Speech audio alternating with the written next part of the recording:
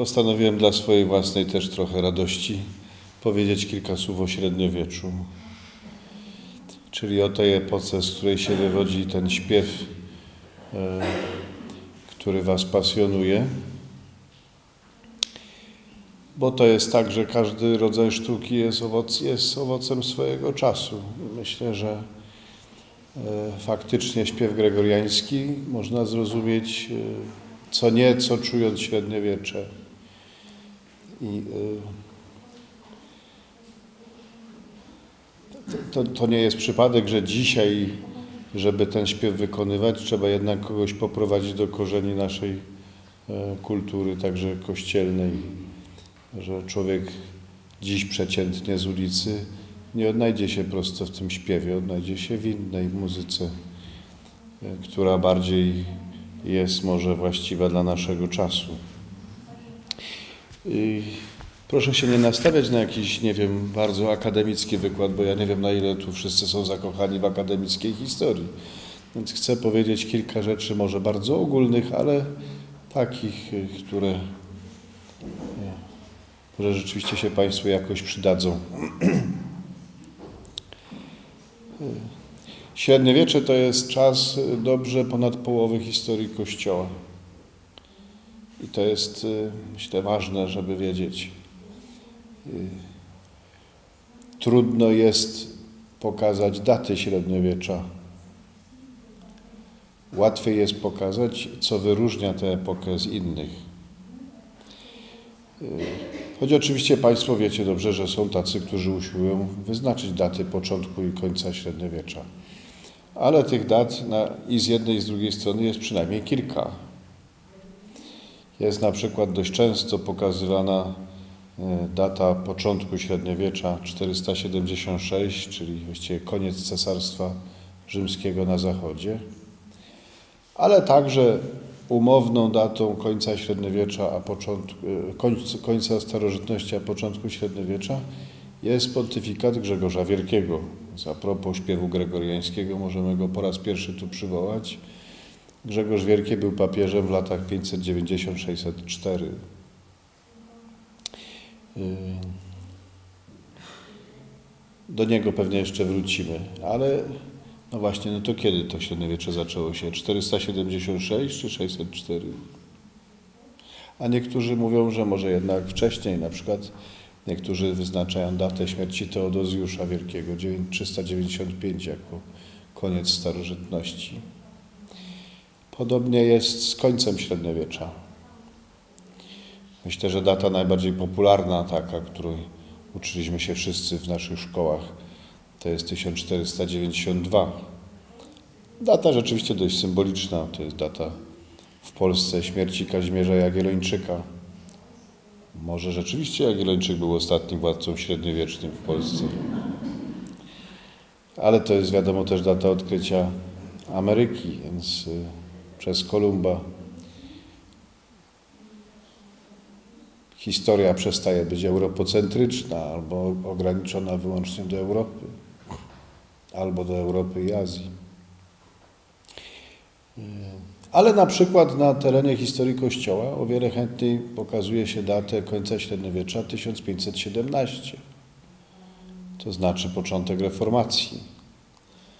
To też jest y, data, która bardziej może być, nie wiem, uważana za symboliczną niż realną, bo naprawdę w tym roku 1517 jeszcze nie wydarzyła się reformacja. To był taki moment, pamiętam kiedyś jeden z moich studentów e, napisał mi w jakimś wypracowaniu takie piękne zdanie, że młotem, którym Marcin Luther przybił do drzwi katedry w Wittenberdze swoje 95 tez, rozbił jedność łacińskiego kościoła.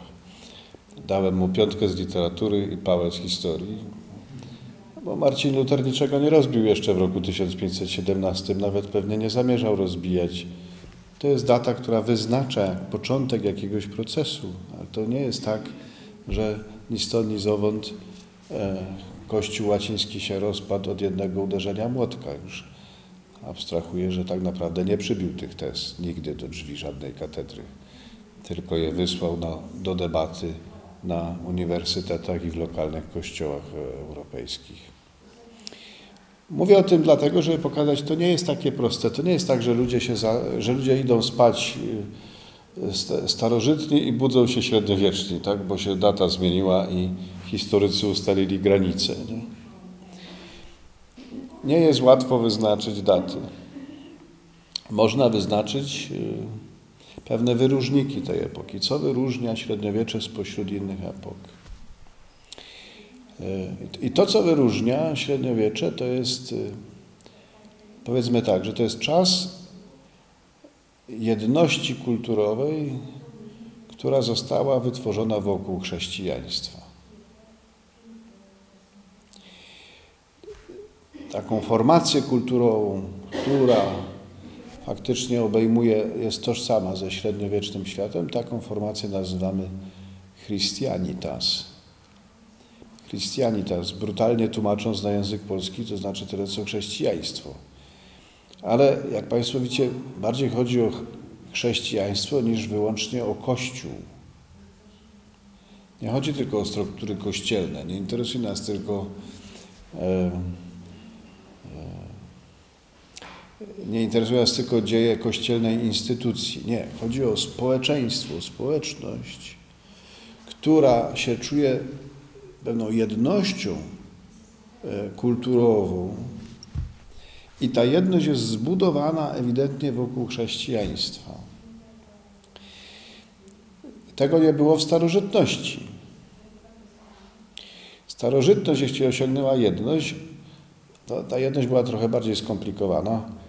Jej bardzo pięknym symbolem jest taki e, przedziwny budynek e, który pokazywałem kiedyś swoim studentom w, w Pergamonie.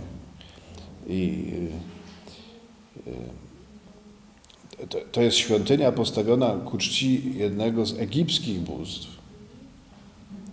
Z egipskich bóstw w Pergamonie. Pergamon, Państwo na pewno kojarzycie, że to jest miasto greckie.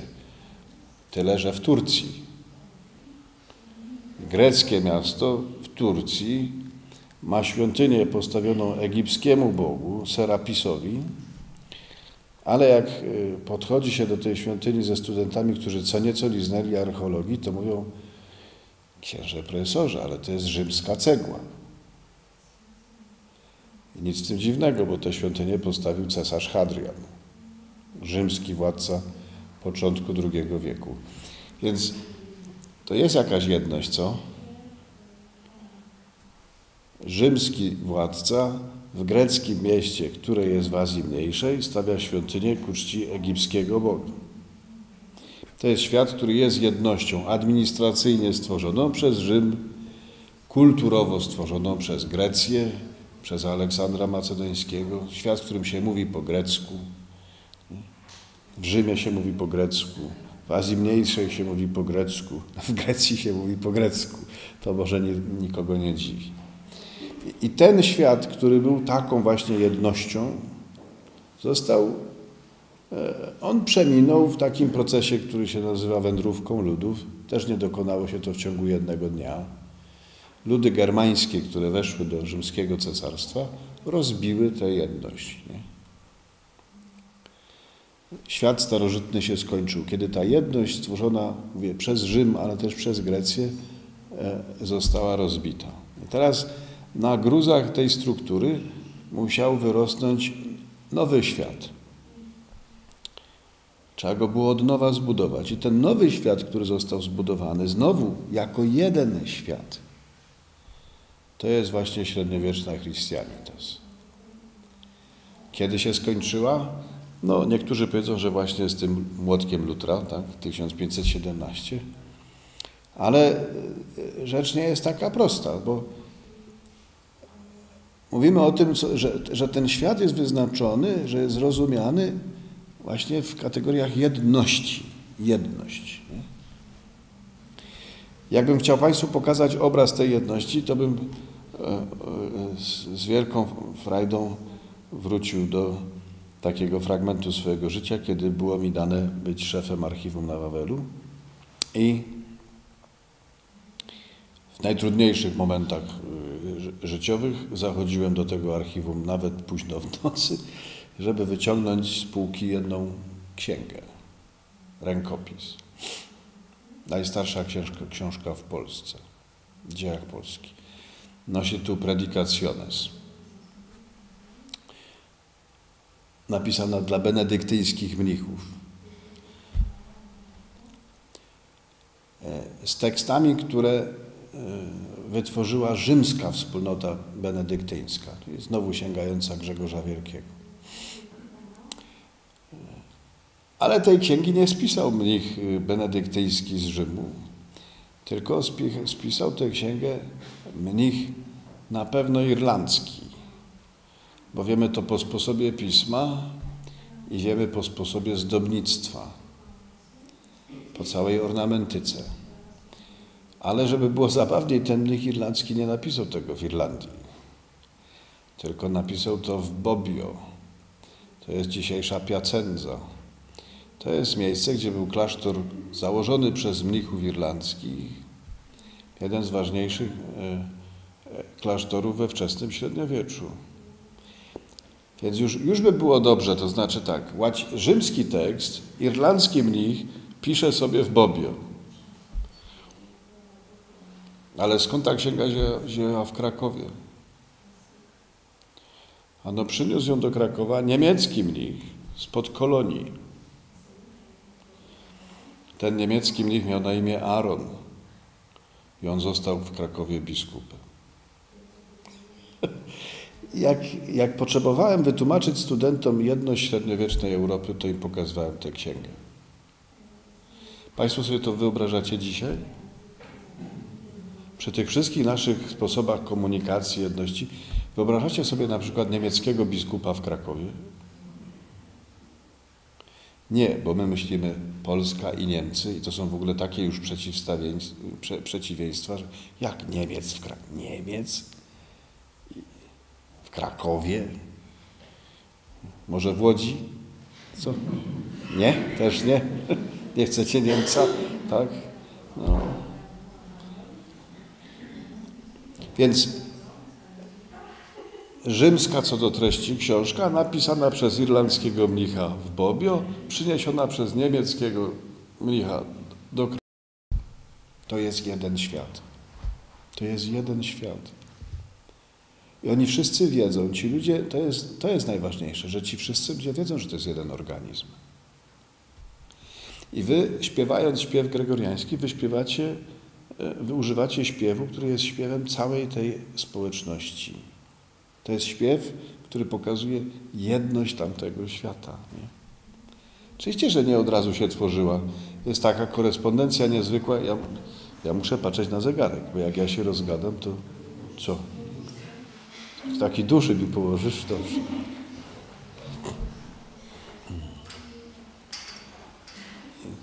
Ksiądz profesor, ty mi powiedz, kiedy mam skończyć. Najpóźniej tu, dobrze, tu.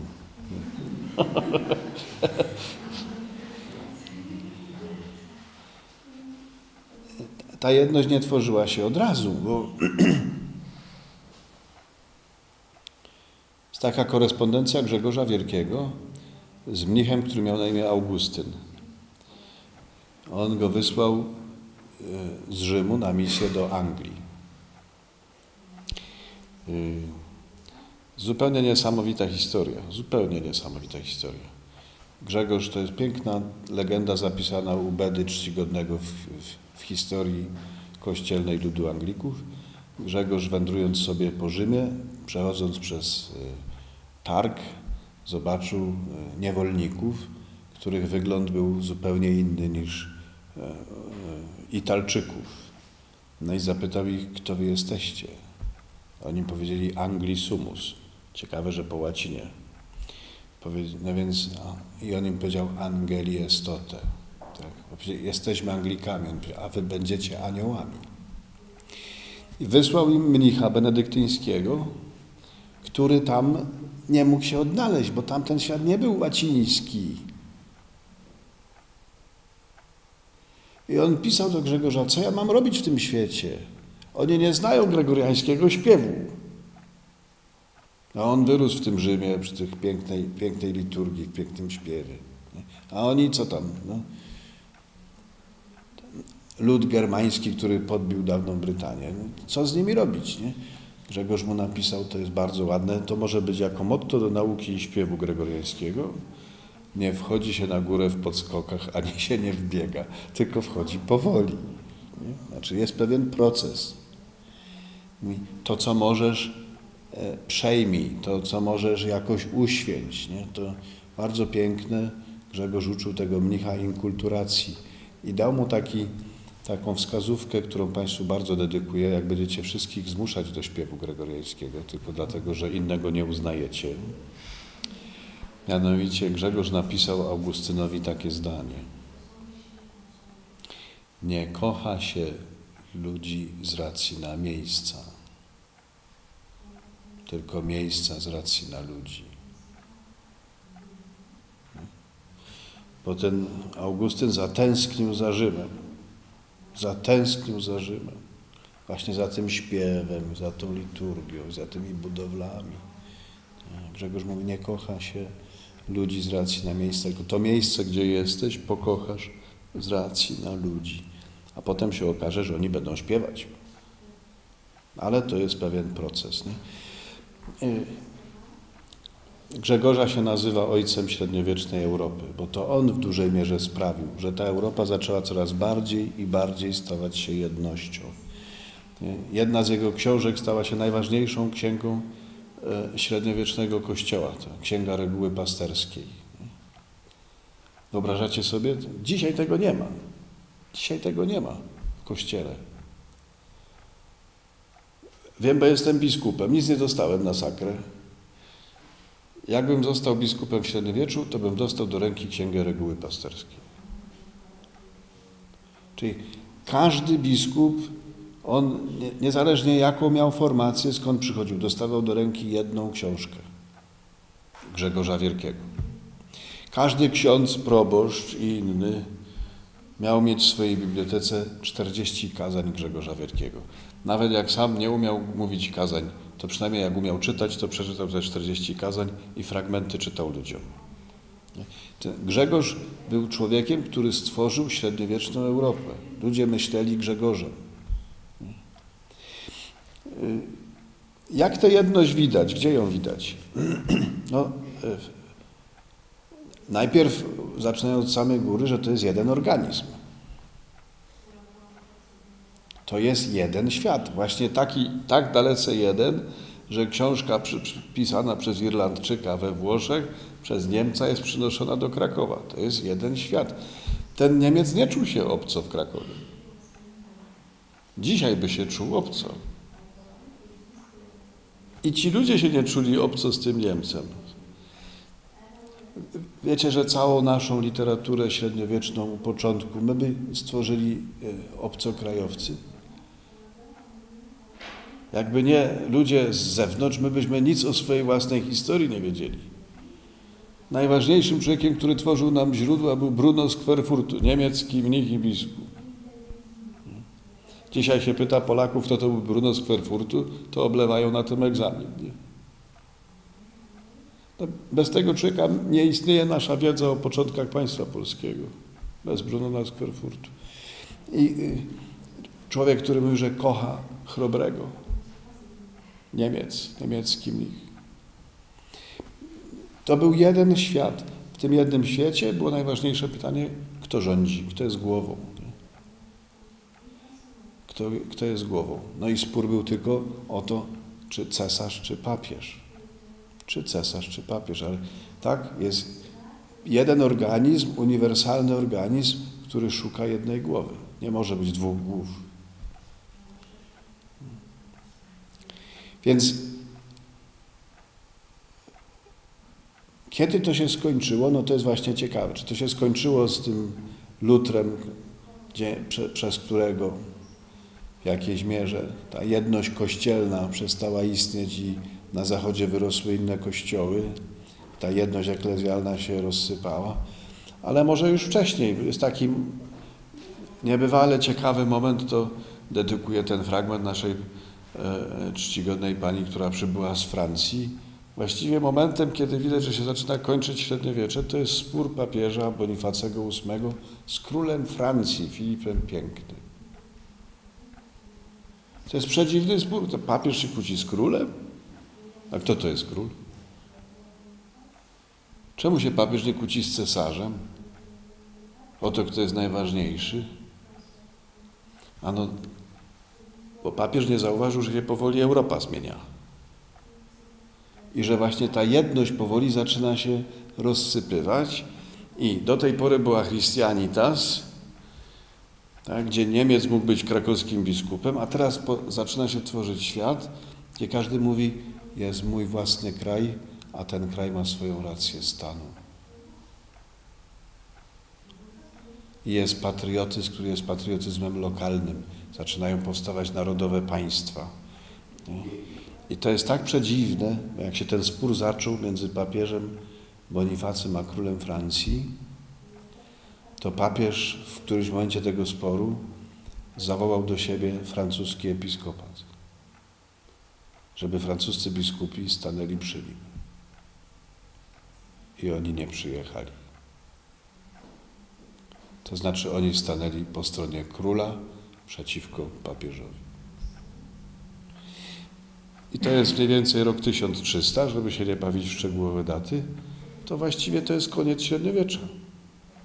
To już nie ma tej jedności kulturowej, tej jedności tego całego organizmu, nie? który, e, który no, jest organizmem uniwersalnym. Ten, ten uniwersalizm się właśnie kończy. Nie? Teraz jest król Francji, mówi, ale francuska racja stanu jest taka. Co mnie obchodzi, co papież myśli? To jest taki dość szczególny moment, bo wiecie Państwo, jak się tego nie złapie, to się w ogóle nie rozumie ludzi średniowiecza. Na przykład tego, jak oni przeżywali pewne zależności które zależności w świecie średniowiecznym były najważniejsze? Najważniejsze, że zależności były personalne. Jestem, jestem e, ja i mój władca, któremu składam przysięgę posłuszeństwa, ale to jest relacja osobista, tak? Znaczy to jest mój senior, a ja jestem jego wasal. W tym nie ma idei państwa. Co to znaczy zdradzić w średniowieczu? To nie oznacza działać na szkodę państwa, bo nikt nie myśli kategoriami własnego narodowego państwa. Zdradzić to znaczy wymówić posłuszeństwo swojemu seniorowi. Jest człowiek, z którym jestem związany, przyrzekłem mu posłuszeństwo.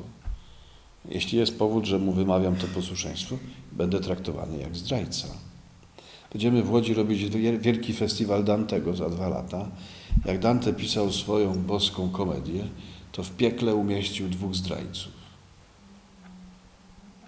Jednego się jest łatwo domyśleć, no to jest Judasz, tak? A pamiętacie Państwo, kto drugi?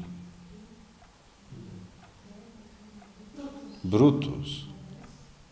Stawiacie Brutusa na tym samym poziomie co Judasza? Aha. Nie, ludzie nie stawiają Brutusa na tym samym poziomie co Judasza. Niektórzy powiedzą, Brutus walczył w obronie Republiki, tak? Brutus jest kimś, kto walczył z tyranią. Dlaczego Brutus w piekle? A bo Dante jest jeszcze człowiekiem końca średniowiecza i Dante to jest zdrajca. Brutus powinien być wierny Cezarowi. Nie wolno mu było zabijać Cezara. Relacje są osobiste. Jak Państwo weźmiecie sobie pieczęcie władców, to polski władca początku średniowiecza, na przykład Bolesław Chrobry, będzie Rex Polonorum, król Polaków. Dopiero Kazimierz Wielki będzie Rex Polonie, król Polski. Polska nie istnieje wcześniej w takim sensie, że to jest odrębny byt, który ma swoją własną tożsamość, swoją własną świadomość. Nie, istnieją Polacy, mają swojego władcę, któremu przyrzekli posłuszeństwo. Nie? Jak widać, te kategorie lokalne, one nie są tak mocne. Mocna jest powszechna kategoria.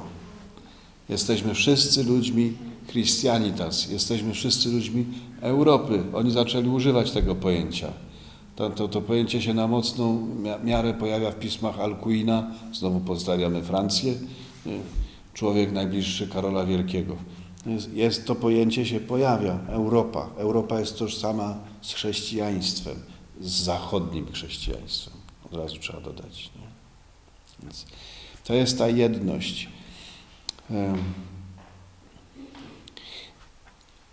Chyba najmocniej to przeżyłem. Była rocznica bitwy grunwaldzkiej i poproszono mnie o wykład w katedrze na Wawelu.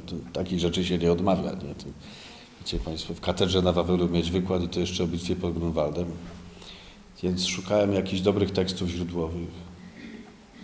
I znalazłem taką bullę, którą napisał Marcin V do Zbigniewa Oleśnickiego. To jest pierwszy w dziejach polskiego kościoła kardynał. I bulla dotyczy tego, że ma być, ma być wyświęcony na biskupa w Krakowie, ale jest kłopot, ponieważ brał udział w bitwie pod Grunwaldem. I nie tylko brał udział w tym sensie, że tam stał, tylko przyczynił się do śmierci jednego z, z niemieckich rycerzy, który zaatakował samego króla. A ponieważ Oleśnicki wtedy był jednym z sekretarzy królewskich, księże Łukaszu, bycie sekretarzem jest niebezpiecznym zajęciem. Więc ponieważ ten był akurat sekretarzem, miał w ręku, jak mówi Bulla, ułamek kopii. Tym ułomkiem kopii grzmotnął tego Niemca i zrzucił go z konia, po czym najbliższa świta królewska tego rycerza zabiła. Zaciągnął w ten sposób Oleśnicki przeszkodę do święceń wyższych. Takie było prawo kościelne. Ktoś, kto kogoś ranił, przelał krew, albo, już nie mówię, zabił, przyczynił się do czyjejś śmierci, miał przeszkodę do święceń. Żeby mógł być święcony, potrzebował dyspensy papieskiej, więc Marcin V tej dyspensy udziela. Ale najpiękniejszy jest język, w którym e, ta dyspensa jest wyrażona. I on, ten, ten, dokument, ten, ten dokument brzmi mniej więcej tak. Drogi synu, Doniesiono nam, że w czasie, kiedy nasz kochany syn, najjaśniejszy król Polski Władysław, poszedł na bitwę z naszym ukochanym synem, wielkim mistrzem zakonu niemieckiego Najświętszej Marii Panny, to wtedy ty w czasie tej bitwy zrobiłeś temu Niemcowi aty, aty, nie? Ale czujecie Państwo, jakie to jest piękne? To znaczy, papież ma taką świadomość, mam dwóch synów, chłopcy są trochę niesforni właśnie się pokłócili.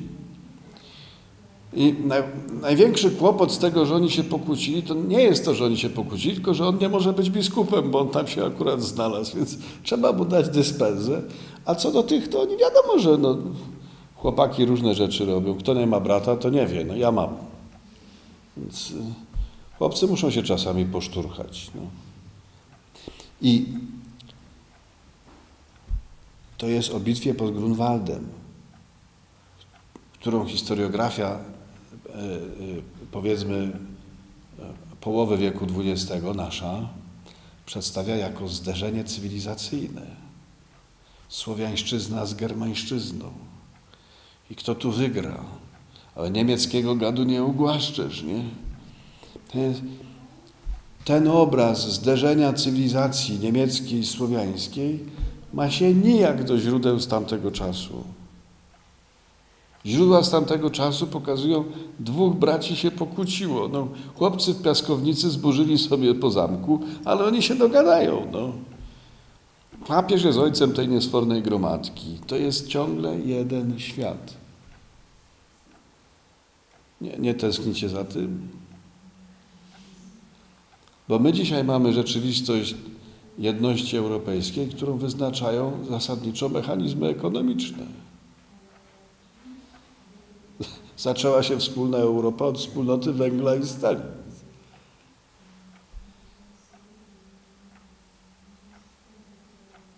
A co nas jeszcze bardziej, co nas jeszcze łączy? Fundamentalnie są jakieś wartości. Proces historyczny jest taki, że z tej jedności wszyscy ludzie mieli poczucie przynależności do jednego organizmu. I mając to poczucie przynależności do uniwersalnego organizmu, zaczęli powoli odkrywać swoje tożsamości narodowe, Więc te tożsamości narodowe nie były przeżywane w początku na zasadzie, jak ja jestem Polakiem, to znaczy przede wszystkim, że nie jestem Niemcem albo nie jestem Rosjaninem. Nie, bo to poczucie własnej tożsamości narodowej wyrosło na gruncie uniwersalnej tożsamości.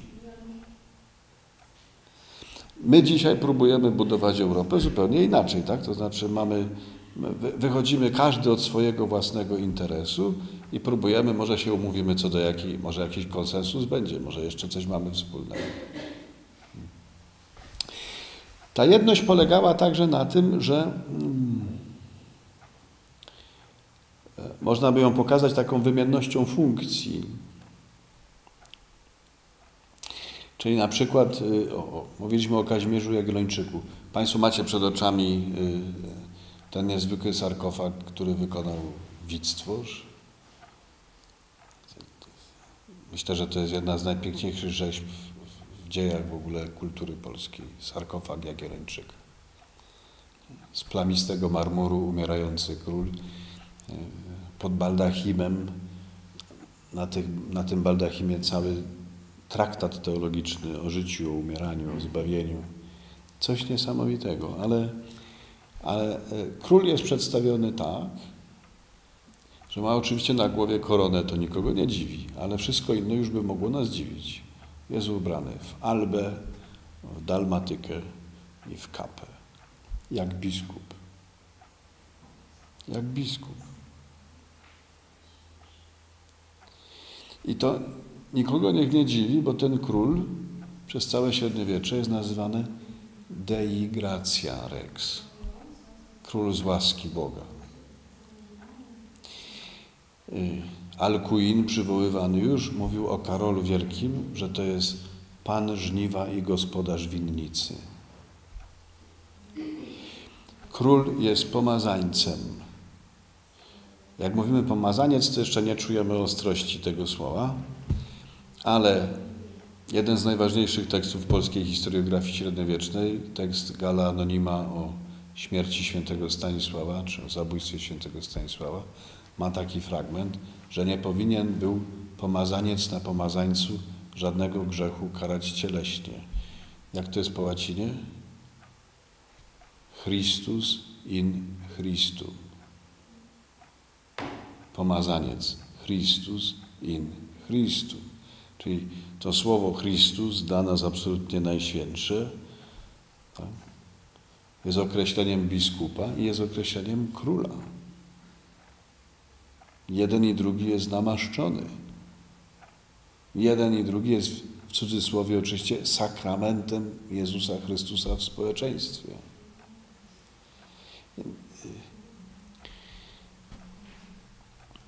Ja wyrastałem w takim czasie, kiedy w Krakowie wskrzeszono procesję świętego Stanisława i to były czasy komunistyczne, więc ta procesja, wielka procesja świętego Stanisława zawsze, zawsze służyła wykładowi nauki społecznej i w tym wykładzie nauki społecznej zawsze mówiono o stosunku Kościoła do państwa. Tak trzeba było, bo takie były czasy, ale historycznie rzecz biorąc, to się nie ma prawa bronić. Dlatego, że w średniowieczu nie było odrębnego państwa i kościoła. I mówienie o stosunku kościoła do państwa albo państwa do kościoła w średniowieczu jest mówieniem bez sensu. To jest jeden organizm. Mówię, pytanie jest, kto w tym organizmie jest głową, ale ten organizm jest jeden. Więc dlatego król wydaje na przykład prawa dotyczące wprost kościoła. Jedno z najważniejszych y, y, dzieł Karola Wielkiego to był taki tekst zatytułowany Admonitio Generalis, w którym Karol przepisywał, co ma być nauczane w nauczaniu parafialnym w Kościele. Jaki jest spis treści nauczania, katechezy powiedzielibyśmy dziś. Karol Wielki. Nie żaden biskup francuski na to nie wpadł. Tylko król. Jeszcze nie był cesarzem, kiedy to napisał admonicja generalis.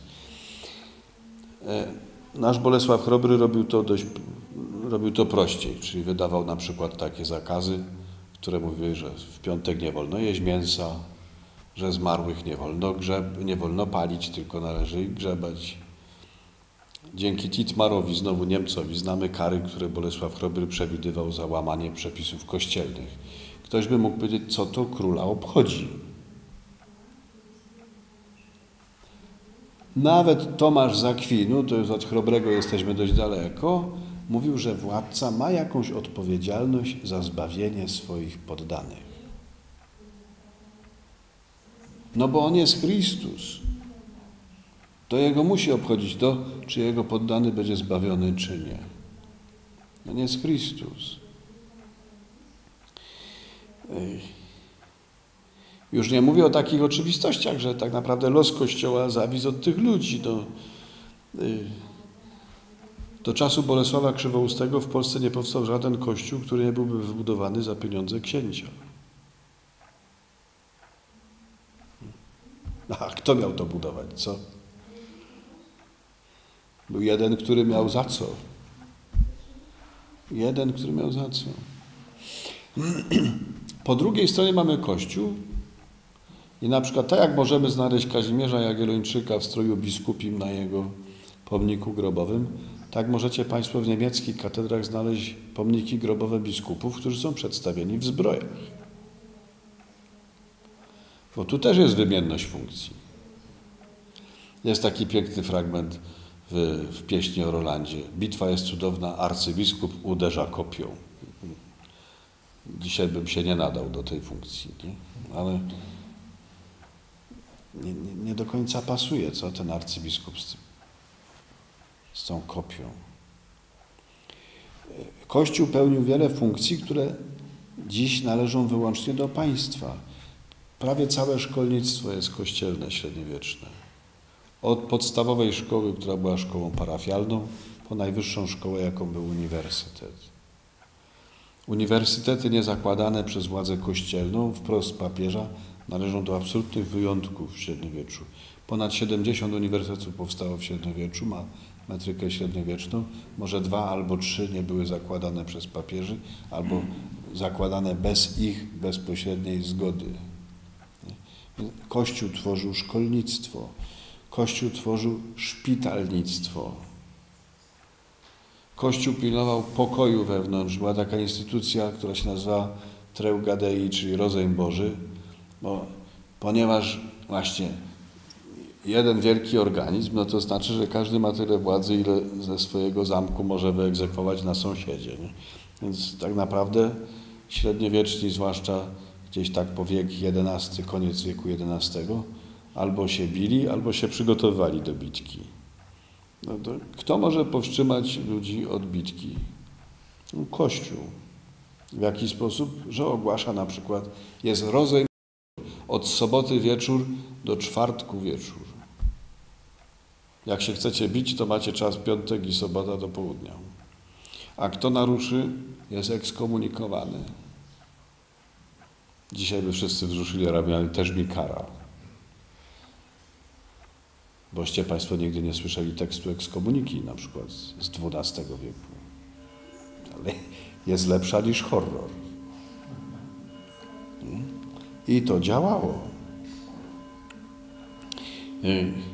W tym archiwum, którym się mogłem opiekować z, z daru Bożego, uderzyło mnie, że najstarsze księgi, XI, XII, wiecie jak były chronione? Takimi formułami, które były wypisywane na górnych marginesach, że kto tej księdze, księdze zaszkodzi, będzie przeklęty. Jedno zdanie wystarczyło napisać na górnym marginesie i złodziejowi przechodziła ochota, żeby tę księgę zabrać. Natomiast jedna z przepięknych ksiąg napisana w czasach Zygmunta Augusta, niesamowity rękopis pergaminowy, e, no, takiego formatu, żeby się na tym stole nie zmieścił, już nie miała tej formuły maledykcyjnej. Postęp, nie? Postęp. Już nikt nikogo nie przeklina. Przez wszystkie strony, łącznie z okładką, dziura, bo ta księga była łańcuchem do ściany przybita, żeby jej nikt nie wyniósł. I, I, w tej cywilizowanej XVI-wiecznej Europie trzeba było księgę przymocować łańcuchem do ściany i to dopiero była jakaś gwarancja, że jej nikt nie ukradnie. A w średniowieczu wystarczyło to jedno zdanie napisać. Była. Jedność, nie? Kościół, który tworzy, e, e, tworzy szkoły, e, e, tworzy szpitale, buduje drogi, buduje mosty, bo mamy w kościele bractwa, które się tym właśnie zajmowały. Nie? No, dzisiaj zasadniczo nas to nie obchodzi. Czasami robimy rzeczy, które są też użyteczne społecznie. Mam nadzieję, że robimy. Ale to nie jest nasze główne zadanie. Nie? Dzisiaj wszyscy mówią, tak, coraz głośniej, rozdział Kościoła od państwa. Nic takiego w średniowieczu nie mogło w ogóle, to nikomu do głowy nie przychodziło. Zupełnie inne kategorie myślenia. I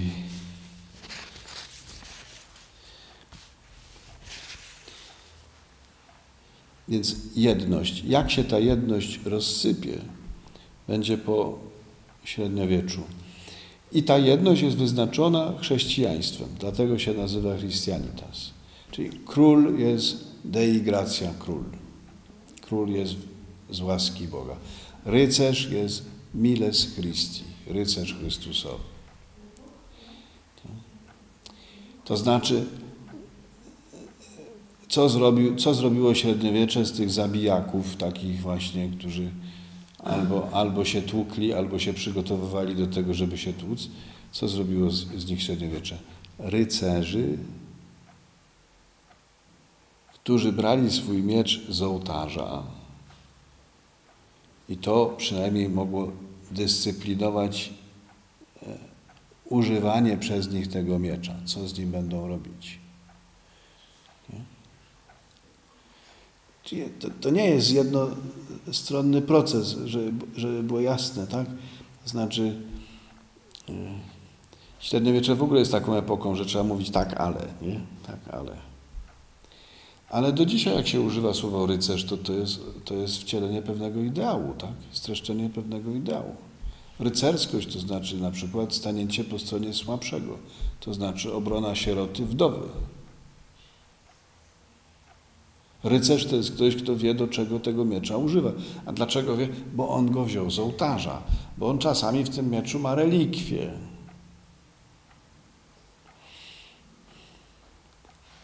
Ktoś może powiedzieć, no tak, no ale co się stało z tym chrześcijaństwem starożytnym, że pacyfistycznym, że nie przygotowywano do chrztu kogoś, kto chciał być żołnierzem. No,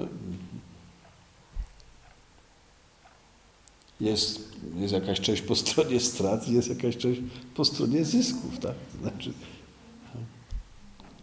jest Miles Christi. Nie ma człowieka, który, który nie odnosi swojego życia do wiary. Nie? Pielgrzym idzie na pielgrzymkę, błogosławią mu kij pielgrzymi. Chłop idzie do roboty, błogosławią mu jego pług. Nie?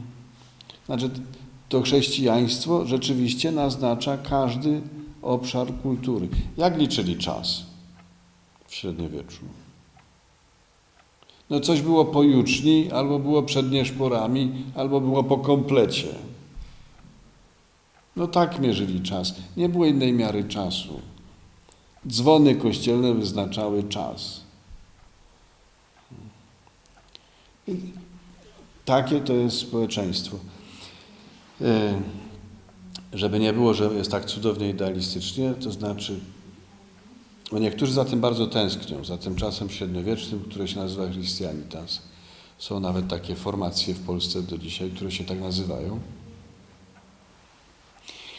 Tak, Christianitas rzeczywiście jest pewną jednością zbudowaną wokół wiary w Chrystusa, ale ona ma też wymiary powiedziałbym, ona też jest jednością przeciw. To znaczy w tym świecie, który się nazywa Christianitas, nie ma miejsca do, do końca dla każdego, kto by nie wyznawał tej wiary. Czyli stosunek do chrześcijaństwa będzie wyznaczał możliwe miejsce człowieka w tym społeczeństwie. Czyli na przykład granicą Christianitas jest na wschodzie to, co się nazywa świat grecki. Jak śpiewamy po łacinie, nie śpiewamy po bizantyjsku. Dlaczego nie śpiewamy, po- pozdrawiamy Panią z Białorusi? Dlaczego nie śpiewamy po, po bizantyjsku? Bo Grecy są schizmatykami. Takie jest myślenie średniowieczne. Grek to jest schizmatyk. Czyli Europa ma swoją granicę, tą granicą jest grecki świat, prawosławny świat. Nie należy do nas. Na południu granicą jest islam. Muzułmanin nie należy do naszego świata.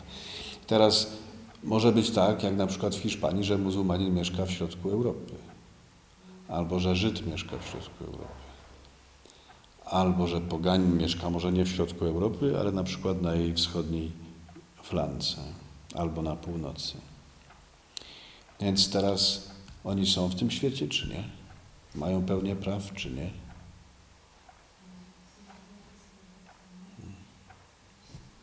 Pewnie nie.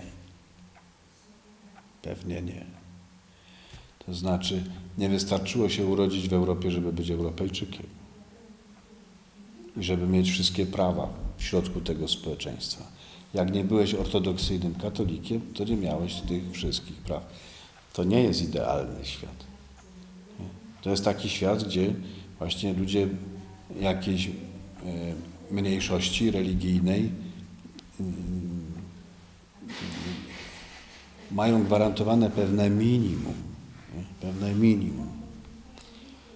E, Mówi się na przykład, nie wiem, o, o przywilejach, które władcy europejscy, też papieże wystawiają dla Żydów. Nie? Rzeczywiście jest taka seria, zwłaszcza od końca XI wieku, przywilejów wystawianych dla społeczności żydowskich w Europie średniowiecznej. Ale jakie to są przywileje? Że to jest prawo do życia, to jest prawo do nienaruszalności cmentarza, to jest prawo do tego, żeby mieć jedną synagogę w mieście. Jeśli jest zburzona, to wolno ją odbudować, ale nie wolno budować drugiej. Nie, To jest prawo, żeby nie, dzieci nie były chrzczone na siłę wbrew yy, yy, woli rodziców. To są przywileje, czy to jest minimum praw? To samo to określenie przywilej jest dość e, mylące. My słyszymy przywilej, to znaczy jest jakaś grupa społecznie uprzywilejowana. Te przywileje tak naprawdę gwarantują minimum minimorum tego, co się człowiekowi należy. Ale jemu się nie należy, bo nie, on nie jest chrześcijaninem. Więc on żyje między nami. Pan Bóg miał jakieś powody, że on żyje między nami. Tolerujemy jego obecność, ale on nie może mieć takich samych praw jak wszyscy. Y, To jest myślenie średniowieczne. To jest myślenie średniowieczne. Mówiliśmy o końcu średniowiecza. Kolumb płynął odkrywać Amerykę. Miał pismo w kuferku od Aleksandra VI, że Aleksander VI papież, ziemie odkryte przez Kolumba nadaje pobożnym władcom e, Półwyspu Iberyjskiego. To znaczy co, że tam w tej Ameryce nikt nie żyje? Tamta ziemia nie ma swoich właścicieli? No ma, żyją. A mają prawo do posiadania ziemi? No tak, ksiądz profesor wie, bo jest dzieckiem Soboru Watykańskiego II, to mówi, że mają. Ale Aleksander VI uważał, że nie. To, to nie jest idealne, e, idealna rzeczywistość, ta rzeczywistość średniowieczna. Ostatnia rzecz, jaką chcę powiedzieć, zostało mi 5 minut, jest tych y, y, Średniowiecze to jest czas jedności, to już wiemy. Ta jedność nazywa się Christianitas. Tyle tylko, że to jest dobrze ponad tysiąc lat. Niektórzy liczą 1200, niektórzy 1300. To jest strasznie długa epoka. Pytanie, czy jak mówimy na przykład biskup średniowieczny, to czy to samo oznacza dla takiego człowieka jak Marcin Stur na przykład i Zbigniew Oleśnicki. No. To samo niby biskup średniowieczny, ale to kompletnie inni ludzie. To samo mówimy król średniowieczny, czy król średniowieczny, jakim był Chlodwig, to jest to samo co Jagieło. E, Wątpliwe. Tak długa epoka potrzebuje jakiejś wewnętrznej też periodyzacji, czyli pokazania takiego okresu, który nazwiemy, nie wiem, szczytowym średniowieczem. to zawsze wtedy wypada XII-XIII wiek. To jest ten moment, że średniowiecze jest najbardziej średniowieczne w XII-XIII wieku. Wcześniej mówimy o jakimś przygotowaniu tych e, typowych dla średniowiecza figur, a potem mówimy już o zmierzchu XIV-XV wiek. E, ale wśród tych różnych periodyzacji możliwych średniowiecza jest, y, jest taka, którą ja bardzo lubię. Y, mianowicie to jest epoka benedyktynów, jako pierwsza część średniowiecza, po wiek XII. Potem to, co się zwykle nazywa szczytowym średniowieczem, jest nazwane epoką cystersów i na końcu mówimy o epoce mendykantów. Taka sobie periodyzacja, która się wiąże z, z, z takim ważnym fragmentem życia kościelnego, jakim jest życie zakonne. Nie? Epoka benedyktynów to jest epoka, w której najważniejszym zajęciem człowieka jest liturgia. Liturgia się nazywa szkołą służby Bożej. I to znaczenie śpiewu gregoriańskiego tu jest niesłychanie istotne. Nie? Kiedy ta epoka benedyktynów dobiega końca i zaczyna się epoka właśnie krótka, to trzeba powiedzieć XII-XIII wiek, epoka cystersów, to na pierwszy plan się wybija praca. Praca. Cystersi mniej się modlą, za to karczują Europę. A karczują, bo jest tego wielka potrzeba, bo ludność Europy przyrasta. Potrzeba e, oczyszczać Europę, żeby ta ludność miała się gdzie pomieścić, ale jest praca. E, cystersi w dość dużej mierze wyrośli, stosując się do reguły świętego Benedykta, na pewnym proteście wobec tego, czym było życie benedyktyńskie, zwłaszcza e, w wieku XI i XII. To jak poczytacie Państwo pisma Bernarda z Clairvaux, które dotyczą głównie tak zwanych benedyktynów kliniackich, to to są najostrzejsze teksty napisane w dziejach Kościoła. I, I ta trzecia epoka, epoka mendykantów, to jest epoka nauczania. To tu za symbol by mógł iść Tomasz Zakwinu, a po stronie franciszkańskiej Bonaventura. Czyli koniec średniowiecza to jest epoka uniwersytetów. Uniwersytetów. Liturgia, praca i e, nauczanie, kształcenie. Fajny taki podział średniowiecza, trochę nie taki schematyczny, jak zwykle w podręcznikach się pokazuje. Basta così, bo ja zachrypłem, a Państwo zasnęli. Także tyle o średniowieczu. E, chyba, że ktoś by chciał coś dopytać.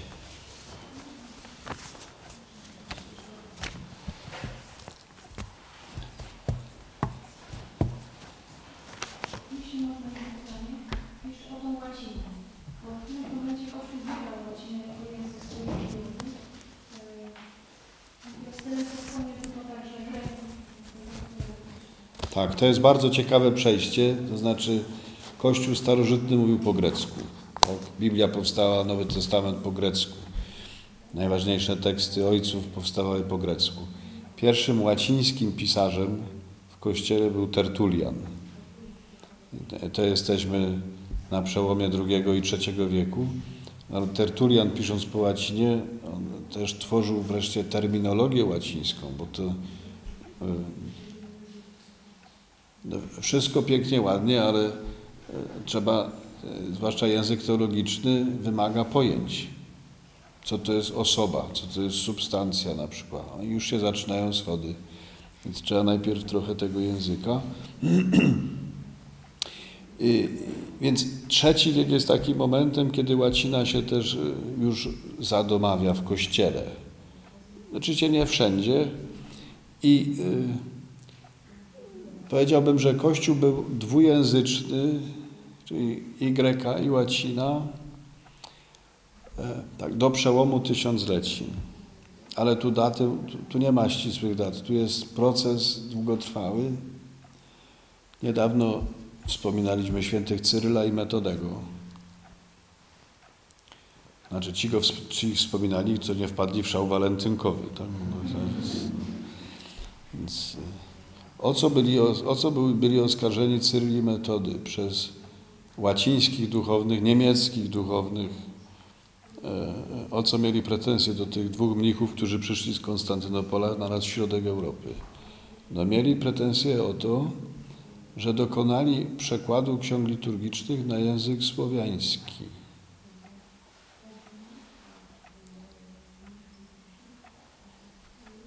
Więc to, i, i to był pierwszy zarzut, czyli dlaczego używacie w liturgii języka, który nie jest święty? Ten święty język to jest łacina, greka i hebrajski. Gdyby posługiwali się liturgią jednym z tych trzech języków, formalnie przynajmniej nikt by im nie robił zarzutu.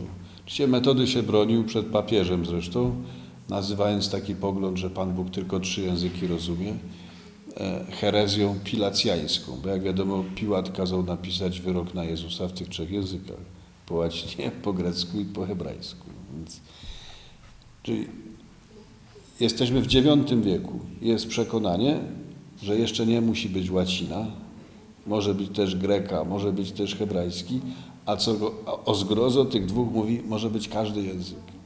Może być słowiański w modlitwie, w liturgii. Ale potem e, na zachodzie łacina e, zacznie być wymagana jako jedyna możliwa i to niestety jest w takim właśnie konflikcie ze światem prawosławnym, ze światem greckim. To Znaczy, jak się kościoły zaczną rozchodzić, to każdy w imię swojej własnej ortodoksji, ortopraksji. I e, to ksiądz ojciec profesor Chryniewicz nazwał tak bardzo celnie duchem ekskluzywizmu. Ekskludo znaczy wykluczyć. Nie? I, i, liczy się moja pragmatyka, moja, e, e, moja praktyka, mój sposób modlitwy, mój i tylko mój. To znaczy, Kościół ma być łaciński, wasta. Nie ma być grecki. Grecki jest zły. Oczywiście Grecy będą mówić to samo w odniesieniu do nas. Ten proces będzie długo trwał. To nie jest tak, że kościoły się od razu rozeszły i się wyklinały nawzajem. E, Ci Państwo, co byli na pielgrzymce w Ziemi Świętej, to widzieli malowidła w Bazylice Bożego Narodzenia, które w XII wieku malowano. Malowano świętych łacińskich i greckich i podpisywano ich po łacinie i po grecku. Znaczy mieli jeszcze poczucie wspólnoty. Potem było nieszczęście, które się nazywało czwartą krucjatą, kiedy łacińscy rycerze wybierający się do Ziemi Świętej tak naprawdę nie poszli do Ziemi Świętej, tylko do, Konstantynopola, który zdobyli w roku 1204, urządzając rzeź greckich chrześcijan. I to jest wydarzenie, które było tak naprawdę przyczyną rozbicia Kościoła po dzień dzisiejszy. Biskupi się mogą wyklinać nawzajem, ludzie jakoś to przetrzymają. Ale takie wydarzenie, że chrześcijanie łacińscy wyrżnęli chrześcijan wschodnich w Konstantynopolu, w stolicy świata prawosławnego, ono jest nie do cofnięcia w mentalności. To, jest, to, to, to był dramat ostatecznego rozdziału Kościoła. I, e, Punkt dojścia tego procesu, że nie, nie, tylko nasze, tak jak u nas, tak jak u nas. Tak, trochę żartem, trochę serio, święty Bonifacy, apostoł Niemiec, pisał do papieża, co rzymski kościół mówi o jedzeniu boczku. Miał taką ideę, chrystianizował Germanię, nie, że właśnie ma zapanować wszędzie rzymski model, ale od A do Z rzymski. Wszystko ma być tak jak w Rzymie, nie może być inaczej. Nie? Więc co rzymski kościół mówi o jedzeniu boczku? Papież mu odpisał, papież go poważnie traktował i napisał mu, drogi synu, pytasz nas, co rzymski kościół mówi o jedzeniu boczku? Odpowiadamy, boczek należy jeść, kiedy jest usmażony albo uwędzony. Ale, ale to jest autentyczna korespondencja dwóch poważnych hierarchów kościelnych, z których jeden został święty. Bonifacy jest świętym Bonifacym, apostołem Niemiec. Ale on miał naprawdę taką ideę. Musi być wszystko tak, jak jest w Rzymie. Po łacinie, po łacinie, po łacinie.